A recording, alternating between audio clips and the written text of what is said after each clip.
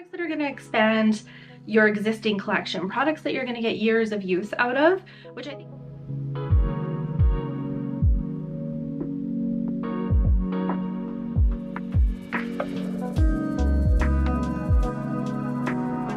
here. Welcome back to another video on my channel. Today we are going to do an exciting video and that is my favorite products not just from 2023 but from previous years as well. Kind of some of my go-to products things that I reach for all the time things that are versatile things that I think are really good staples not only for my collection but maybe yours if it's something that you resonate with as well. Uh, this video is sponsored by DK Beauty so thank you so much for sponsoring this video. DK Beauty carries all of the products that I'm going to share in this video. They have like a one-stop shopping for all of the different products that I share with you guys quite often. Uh, we are going to go through some products from Fusion from KoKo Claire, from Clear Jelly Stamper, from Apres, just some really great staples. Speaking of Clear Jelly Stamper, DK Beauty has them for 20% off for the month of December, which is an excellent promo, and we're going to go through a ton of different products in this video. But if you're looking for some more of my recommendations, definitely check out my more recent uh, favorite stamping products video. Products that are going to expand your existing collection, products that you're going to get years of use out of, which I think is something that is so important when uh, all these new items are kind of shared with us and there's tons of new releases all the time. It's like, yeah, I really want that. I think that would be great. But are you actually going to use it? I'm going to go through a bunch of products that are going to be good for all year round. So let's jump in and let's get started. I'm going to do most of this video voiced over. I just think it'll be better for me to kind of explain what I'm doing for the tutorials. Uh, but the first thing I did want to talk about and mention is this particular Apres Gel X tip that I use. Uh, this is in the shade Whitney. I love this and I use this a lot for tutorial videos. I use this a lot for press-ons for backgrounds.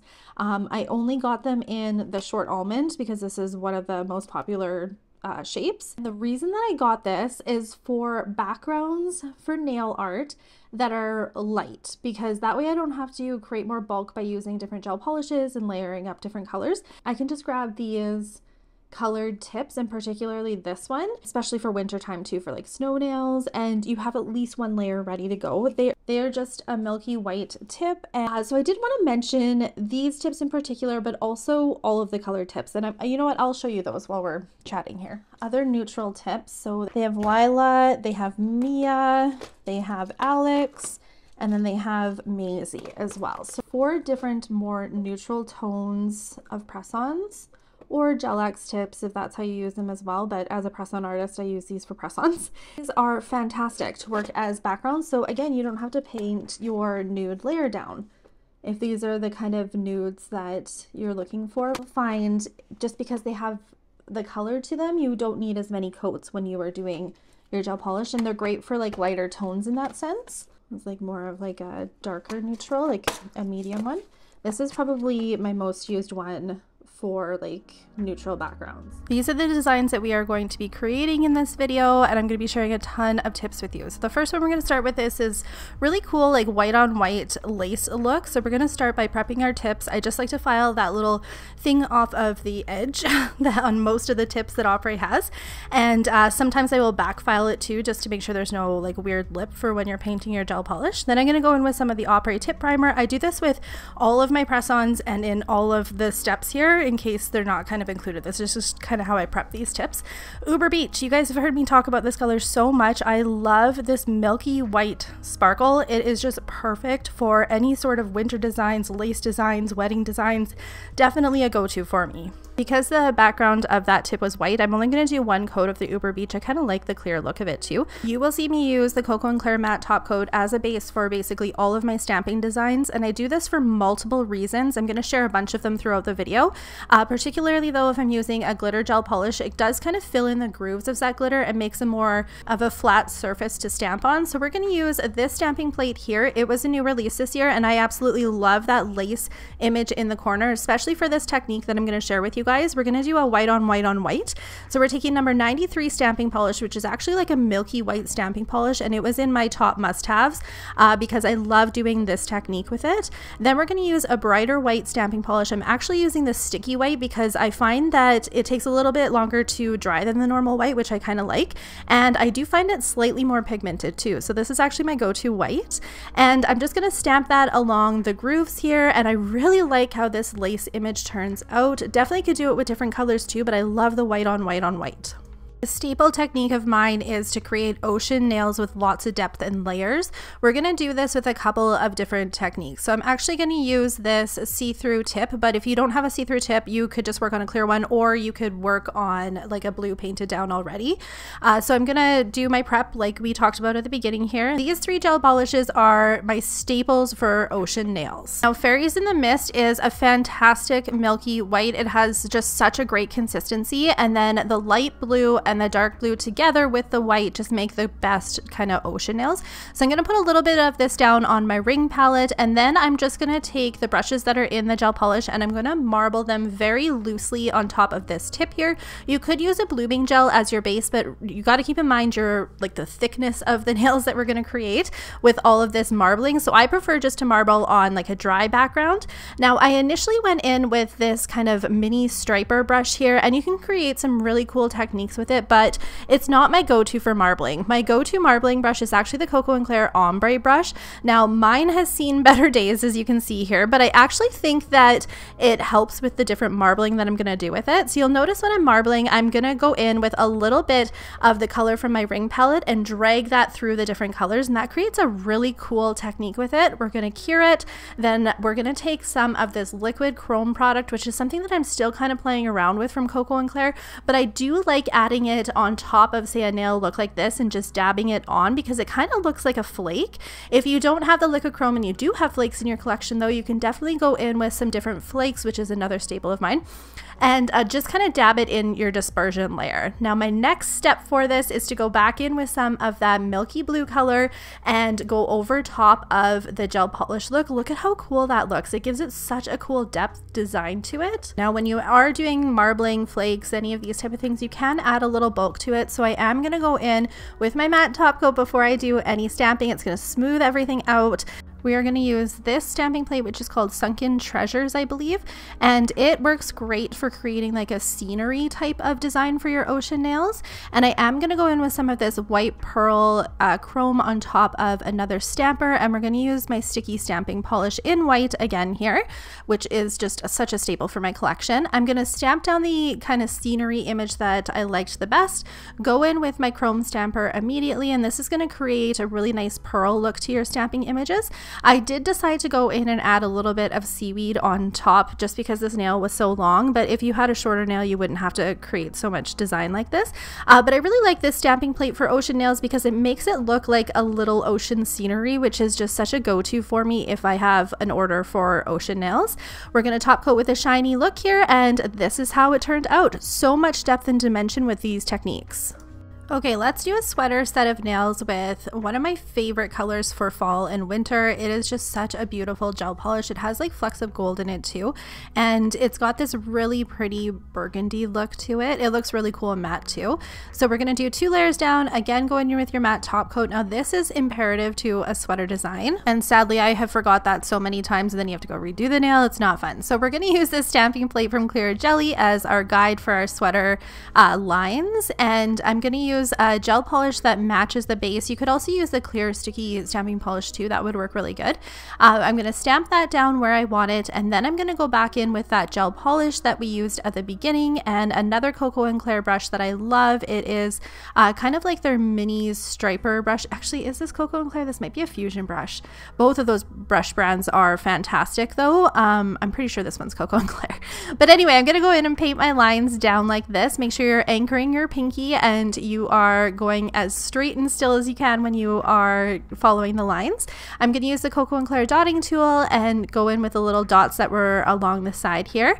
After you are done creating the image, do not care. You're going to take some like gel art powder. You could also use like a clear acrylic powder too. And I like to just use like a nail tip to scoop this on. It makes the perfect scoop and then I can just kind of tuck it in that bottle as well. And you're going to put down your powder until it is completely matte. You might have to do this a couple of times and you can see I'm kind of just making sure I got everything. Make sure it's really well cured before you go in and brush it off. This is my favorite brush that I like to use for removing chrome or powders or anything like that. If you want your sweater to be even more raised up, just repeat those steps at least one more time as well. But this is how the design turns out. These type of sweater looks are so popular and that stamping plate just makes it so easy. So next we're going to do some clouds, which is highly requested ever since I shared that cloud stamping plate in my favorites video. So I like to use this Apres Sky High gel polish color. I think it is just the best light blue. And we're going to use the Whitney tips, which is that white base. And we're going to do our normal prep like we talked about at the beginning here. Once those are ready to go, go in and do just one coat of this Apres blue. It is so pigmented on its own. You do not need more than one coat I found with this one. I am going to take my matte top coat again for two reasons. I'm going to work with some alcohol inks, but we're also going to do some chrome stamping. So you need a matte surface. I prefer for both of these looks. When I'm doing cloud nails, I like to use the KoKo and Claire white alcohol ink because it is just so pigmented. And I also work with a dish that has one side alcohol, one side acetone because they do work a little bit different with alcohol inks, I find. So I like to go in with uh, alcohol as my base, and then I'm going to drop some of the KoKo and Claire alcohol ink down.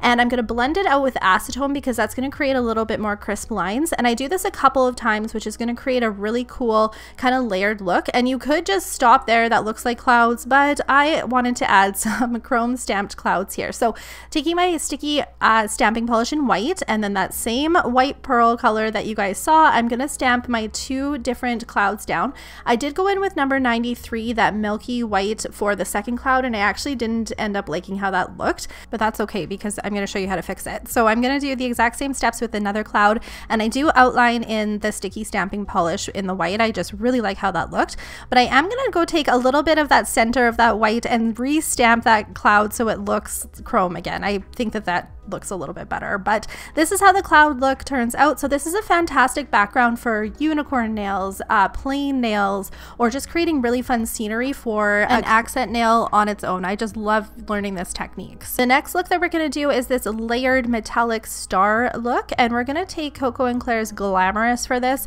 This is a recent new release and quickly becoming a staple in my collection. It is a milky base with multicolored uh, like chrome flakes in it and the star stamping plate. Now, I did do this on a neutral tipped base, which I feel like you could do that or you could just leave it on a clear tip. Either would look really good with it, but I am only going to do one coat because I kind of liked the nude peeking through that you can see here. The KoKo and Claire collections that this was released in is actually a builder consistency, so it does apply a little bit thicker. Now, Fusion's Jupiter top coat is one of my favorite matte glitter top coats that they released. I love all of them, truthfully. Uh, but this one in particular is a staple in my collection because I love the shade of gold that they picked for it. So I'm going to go in with my matte top coat to create uh, my base. And I love using glitter matte top coats for this. Then we're going to stamp on some metallic stars here. I really like this 196 stamping polish. It is just such a beautiful kind of coppery chrome type of look. And then we are also going to use some other shades of gold too. I'm going to use number 51, which is a really nice uh, gold. It's a little bit more gold than, say, 123 and a definite staple in my personal collection. And I'm also going to use number three, which is a super yellowy gold, but I like the contrast of it with the other two golds in this particular look. So I left this design shiny, but I think it would look really good matte too, and you would definitely see those glitters poking out. This is the next look that we are gonna create. It has some floral stamps, some lattice, and then a really cool background. So I have these pink tips in my collection all ready to go, but if you don't have them, you could just use any sort of milky pink that you have in your collection. And KoKo and Claire's Velvet Matte Top Coats in pink. I love the shade of pink that they picked for this, so I'm gonna put that down as my matte base. And then I'm gonna use these three stamping polishes here. This first light light pink one is actually kind of like a milky pink. It is so pretty and great for any sort of layered looks. I'm going to stamp this one down and then I'm going to go in with a little bit of a brighter pink to stamp the little circles that are right beside it. Take your time to kind of line these ones up because they are a little bit tricky to line up and you can see after I stamp it down that I actually didn't get the left corner lined perfectly. I'm not going to take it off though. Instead, I'm just going to work with what I have and we are going to fix how it looks. I am going to go in with a matte top coat right on top of this This is not necessary, but I do this in case I mess up with my floral images next. Uh, that way I don't have to take that whole lattice look off. It kind of acts as like a barrier for my floral looks. So for the floral, I'm going to go in with white right where we did that kind of messy look that didn't line up perfectly. And I do this a lot with stamping. I just kind of fix it if it doesn't line up perfectly. Uh, and then I'm going to do some more of that white chrome powder. See, I told you guys, it's a hands down favorite. I use it all the time. And we are going to use the light pink as well as that kind of brighter pink for the next two layers here. Now, this image did take me a little bit to line up. And you can see that I have the clear jelly stamper like card right in the top left corner. I'm just kind of looking at that as I'm lining things up to make sure that I have the proper layers for this particular step. And this bright pink, I think just makes that whole floral look. It turned out so, so pretty with this particular shade. So most of the tutorials that I'm sharing with you guys in this video are from favorites that I've used over the last couple of years. This particular plate was released in a four plate collection, I believe, and all of them are really, really cool. They are floral plates, but also have a little bit extra to them, like this one with like the lattice look. Another one I believe has lace with it. They are so cool. And I feel like these plates are very user friendly as well. I do think that no floral look is complete without using some greenery too. So these these two green stamping polishes are actually new to my collection, uh, so I can't quite say they're a favorite yet, but I just really wanted to play with them. and I really like how they turned out together, the two looks of the green. If you had a shorter nail that you were working with, I think the one big floral image, you could just kind of stop there and it would look great. But because it is a longer image, I did decide to go in with the little floral clusters um, at the front of the plate here. I think they look so good. It took me quite a while to line up this greenery though, and I honestly am not even sure if I did line it up properly. I kind of just plopped it down and it worked and we're just going to stick with that. Another really good advantage of working with the KoKo and Claire matte versus some of the other mats that I have tried for these particular techniques is that if you have a glitter as your base and you go over top of it with a matte top coat, do your art and then go back in with a shiny top coat, a lot of times whatever matte you've used, it completely changes the way the glitter looks as the base. KoKo and Claire's matte top coat does not do that. Another reason why I absolutely love it and it's really fun to create layered looks like this one. We are going to do another staple look and go-to for me, which is this really fun knitted pattern. This was my first time, I think, trying it with a glitter background though, and I do really like how it turned out, but we're going to talk about how I think you could make it better if you were doing it a little differently. So prep your tip like normal. Oh, I forgot to mention that uh, brush that you just saw me use there, that is from Fusion, and I love it for removing dust. It's my only dust brush that I use. We are going to take the Fusion Fortify, one of their recent gel polish launches, this really pretty brown one. It's number 51. I was itching to use this. And again, you don't have to do it on a neutral base like this. You could just do it on a clear base as well. Uh, but I do find that this needs two coats to be as opaque as I want it to be. We are going to use that KoKo and Claire matte top coat again. And we are going to use this really fun Knitter's Gonna Knit stamping plate. Now, I wanted to talk about this plate a little bit because if you use it layered how it is suggested to use it, it does cover up basically your entire nail. So I kind of prefer to just use these little uh, like single images and then that way your glitter is going to pop through of whatever you use for the base. I love working with uh, really sparkly glitters like this and a full kind of base because then you get the whole look of the glitters popping through. I just think it looks so cool. A good plaid stamping plate is definitely a staple in my personal collection, so we're going to create this look today. I'm going to start with a little bit of the darker neutral base here, get it all prepped, ready to go, and then we're going to go in with this gel polish, which is called Light as a Feather. This has a really great consistency. It is a little bit runny though, so try and work as slow as you can with it. I also think it would be fine in one coat here. I did go in with a second coat though, just because I wasn't entirely sure which plaid image I was gonna do and where it was gonna line up. So this is the plaid plate that I'm gonna use. I personally love these two particular images and the stamping polish that I'm gonna use with it is actually a milky stamping polish. It came out in a collection with four different colors that were a little bit see-through and I think it works so good for plaid. Like it just gives like a nice sheer look to it. I wasn't sure if I was gonna use the purple with it or if I was gonna going to go more of a pink vibe. So I put the pink one down first, and then I ended up really liking this particular kind of uh, maroon color. I thought it worked really good with it. Now I love plaid when it is matte, so I did go in with a matte top coat for this particular look. Quite a few great plaid images on the clear jelly stamper plates, but this plate in particular is my go-to. Okay, this look is so fun. We're gonna do a really cute fairy design here. This would make such a cute accent nail for fairy themed nails. I'm gonna go in with this Apres gel polish, and this is one of the French tip versions, and you can see how pigmented it is. I'm only gonna do one coat. Then again, we're gonna take some of this Fusion Glitter Matte Top Coat. This, this is in the shade Harvest, and I tend to use this a lot for designs that incorporate green. So floral nails, these fairy nails. I just use it all the time. So we're going to use this plate called Land of the Fairies. And this particular image of fairy wings is one of my go-tos on this image. You can connect it to like a fairy body, but I tend to just use it on its own. And I'm going to take some of these fairy flakes from KoKo and Claire and some clear sticky stamping polish. Now I haven't actually done this technique before.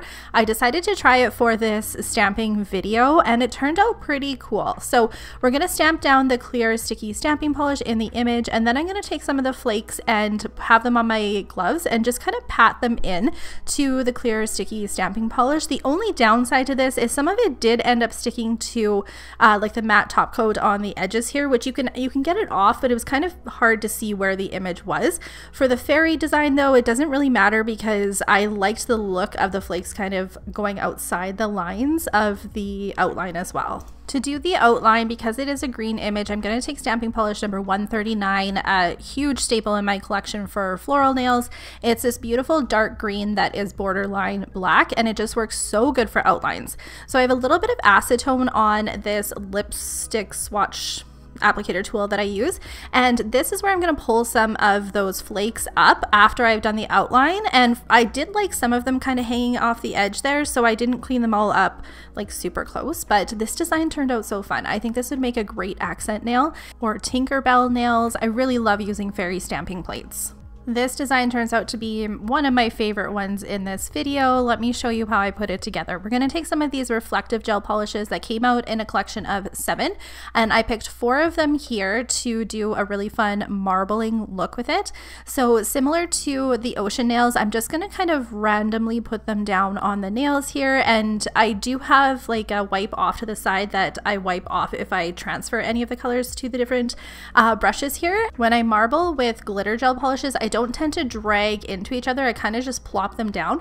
The nice thing about these cat eyes though is they have a reflective glitter that when you use the cat eye magnets, it's almost like the reflective glitter kind of separates from the colored pigments. It gives a really cool look and it actually looks really cool matte too, which is exactly what I'm going to do as a matte top coat. This is the stamping plate that I am going to use today. It is a really fun collaboration plate and I'm going to take some of the black sticky polish here with the crystal image and stamp it down. I'm going to do the same technique with the flakes on top of it because I wanted them to look really sparkly when we top coated them. Remove the excess flakes and then with the acetone that I showed you guys in the last one. Then we're going to go in with a black sticky polish again, which is another favorite of mine because I prefer using this one to the normal black. I find it a little bit more pigmented and it dries a little bit uh, slower, so it's a little bit easier to work with, I find. But I'm going to stamp that down and then you can see the crystals kind of poking through. They turned out really neat. I'm going to stamp it again because I didn't get the corner exactly how I wanted it. So you can see that I removed basically all of the image except for that top corner. And I'm just going to restamp it down instead of removing it and starting all over. Now I thought this image was a little plain with just the moon, so I'm going to do these little dangly drop things from the cuticle, and it turned out super cool. I really like how this came together, and I think it would look kind of cool matte too just love how the colors kind of pulled away from the black pigments and it turned out like such a cool look. Thank you guys so much for taking the time to watch this video. I hope that you enjoyed it. I hoped it helped you with some different items that are out there that are great staples to add to your collection. Comment below and let me know what some of your favorite products are that you're reaching for lately. Make sure you're following me on all my social media and I will see you guys in my next video. Bye!